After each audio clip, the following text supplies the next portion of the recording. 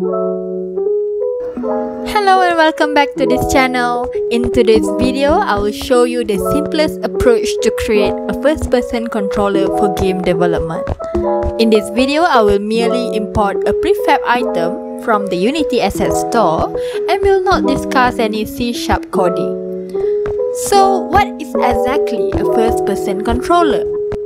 Well, any first-person games require a first-person controller or shooter. We call it as FPS.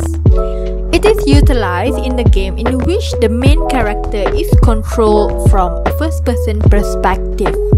The usual FPS keyboard controls are W, A, S, D, or the four arrows to walk and use mouse to look around. So let's get started. First, let's create an area for your FPS to move around in. Now I'm heading to the Unity Asset Store and import a furnished cabin asset from uh, Johnny Caspi. The link to this asset can be found in the description box below. As usual, open in Unity, then click download and import.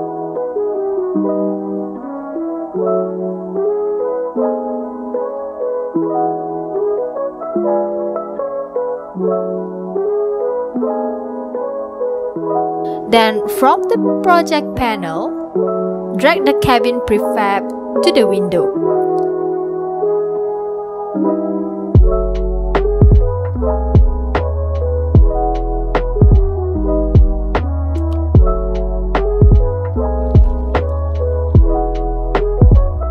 Then return to the Unity Asset Store to look for the free FPS.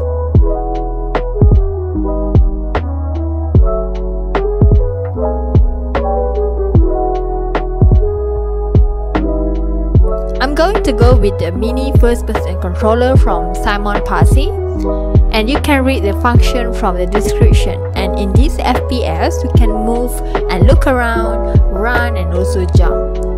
You click download and import then drag it into your scene.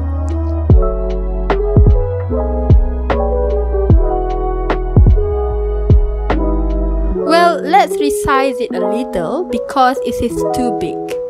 Hit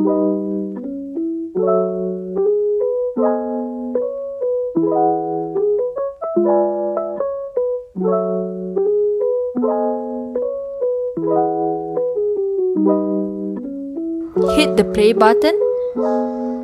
Um, it is too short. Perhaps we should make it a bit taller.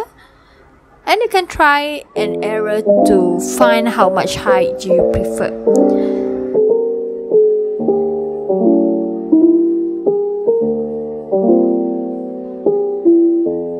Well, that's all I have for today's video. In the next video, I will demonstrate on how to include a hand model in your game.